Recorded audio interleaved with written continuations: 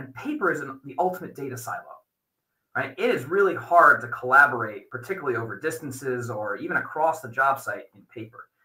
Right.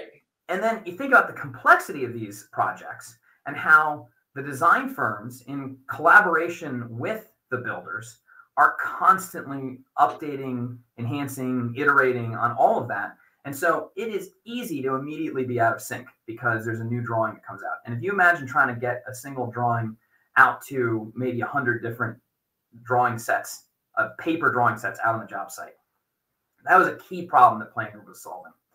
Um, and so that that was exciting me as we were literally ripping paper off the job site.